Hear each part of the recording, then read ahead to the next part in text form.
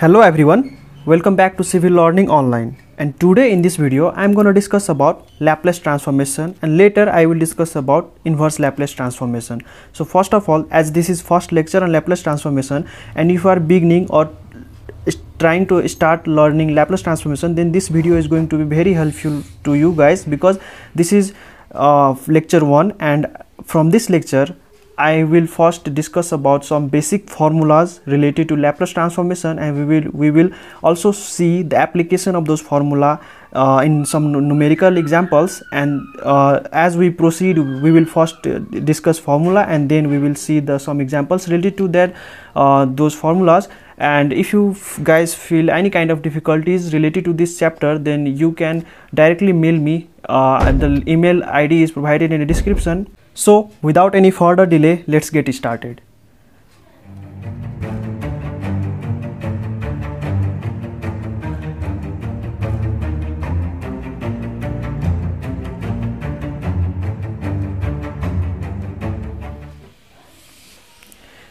The first formula that we will uh, come to see in Laplace transformation is going to be that Laplace transformation of 1 L represents Laplace transformation and guys in the later lectures we will also discuss about what is definition of Laplace transformation. And we will also so see the numerical based upon that for uh, definition. Uh, but here this is basic and lecture 1 so I would like to take you uh, through the basic steps first. So the Laplace transformation of 1 is going to be 1 upon s.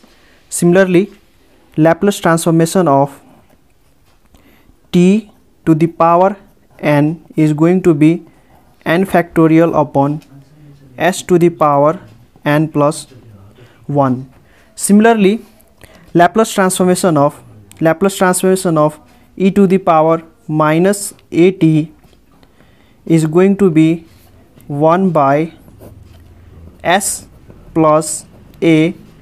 Also laplace transformation of e to the power at will be 1 by s minus a. So again Laplace now we will discuss about Laplace transformation of some trigonometric functions that is Laplace transformation of sine at will be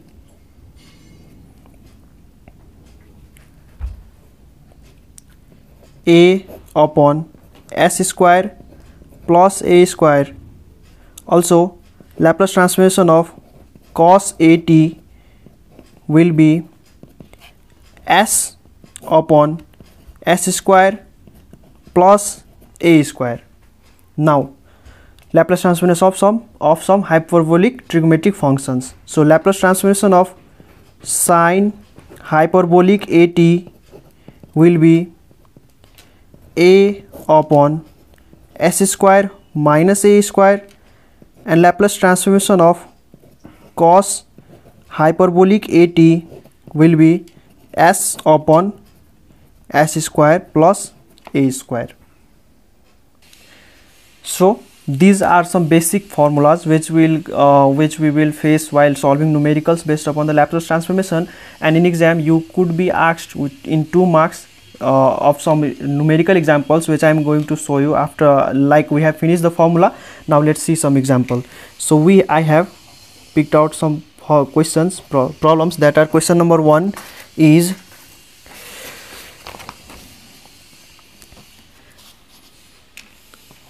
t square plus at plus b so our first question is t. We are asked to find the Laplace transformation of t square plus at plus b. So I'm going to write here solution and Laplace transformation of t square plus at plus b. So what we will do here we will simply split this.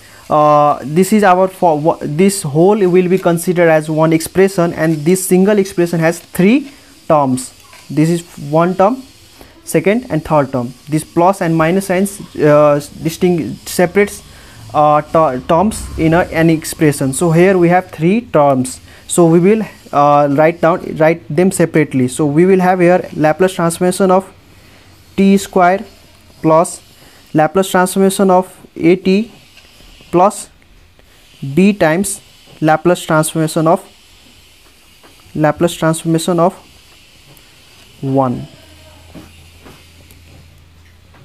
okay? It is because here in, in Laplace transformation we will see only two variables. When we are doing Laplace transformation we have to convert t and on uh, we will see variable t and on doing Laplace transformation operation on that variable it will get converted into s. Similarly while doing inverse Laplace transformation we will uh, we will see in uh, variable s and on doing inverse Laplace transformation operation on that variable it will get converted into t. So we have here Laplace transformation of t square. So here we have the formula Laplace transformation of t to the power n equals to n factorial upon s to the power n plus 1 so we will use this formula here. Here in place of n we have 2 so we will write here 2 factorial upon s to the power and in place of n we have 2 so 2 plus 1 is 3 okay? Plus this a a is will be considered as constant here. So we will simply uh, bring this a out of this uh, column. So we will have here a times Laplace transformation of t. This is actually this is actually a times Laplace transformation of t. Okay? So Laplace again we have Laplace transformation of t t to the power 1 is again 1 factorial. So 1 factorial is 1 1 factorial is 1 1 upon t to the s to the power 1 plus 1 1 plus 1 it will be 2 plus b times Laplace transformation of 1 is 1 upon s. So b times 1 upon s. If you ask me to rewrite this so 2 factorial is 2 factorial is 2 factorial means 2 into 1 so 2 factorial is going to be 2 so 2 upon s cube plus a upon s square plus b upon s. This is our final answer for this problem. Isn't it simple? Let's see one more example and that is our question number 2. So our second question is that I have picked up for you guys is t minus sine hyperbolic 2t. Again this is our single expression and here we have two terms that is t and minus sine hyperbolic. 2t is our second expression. So Laplace transformation of t minus sine hyperbolic 2t by according to question. So we will need to separate it. So Laplace transformation of t minus Laplace transformation of sine hyperbolic 2t now apply the formula here nothing means t to the power 1 so t to the power 1 formula is n factorial so 1 upon s 2 minus sine hyperbolic 2t formula. So we have here sine hyperbolic at in form in terms in place of a we have 2 so simply equate these two formula and write down the value. The formula is a upon s square minus a square. So in place of a we have 2 so 2 upon s square minus a square. a square is 2 square so 4 so this is our final answer. Nothing more. Are you getting the uh, steps? What i am saying dictating you in this formula? Uh, i hope you are getting. So let's proceed to question number 3 and in question number 3 that is also simple. We have e to the power 2t plus 4 t cube minus 2 sine 3t plus 3 cos 3t here we have one expression and 1 2 3 4 terms. So laplace transformation of e to the power 2t plus 4 time 4 laplace transformation of 4, 4 t cube I will separate it in the next step. So minus 2 sine 3t plus 3 cos 3t close the bracket. Now we will rewrite it as Laplace transformation of e to the power 2t plus 4 times Laplace transformation of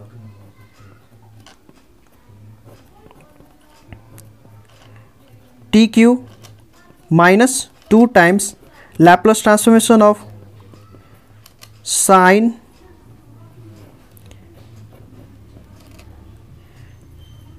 3t plus 3 Laplace transformation of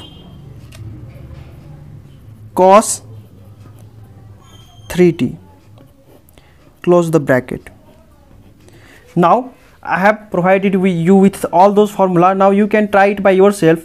Uh, and I'm uh, dictating you for you guys who have not understood uh, these two formulas or who have understood and uh, you can just simply pause the video and try it by yourself and you can detect the answer because I am going to solve this numerical whole here.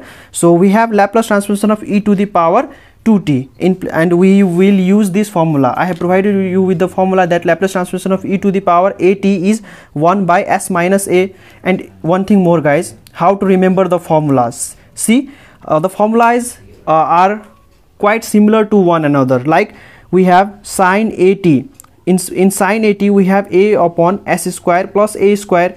In cos we have in cos here we have s means we in uh, uh, numerator we will have s and in denominator we will have s square plus a square.